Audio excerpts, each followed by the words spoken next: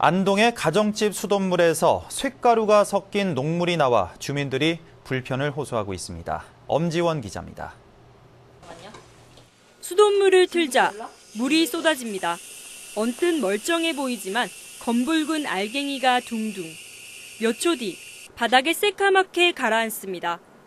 까맣다고 나온다거나 그러니까 받아보니까 정말 까맣게 나왔었어요. 새까맣게.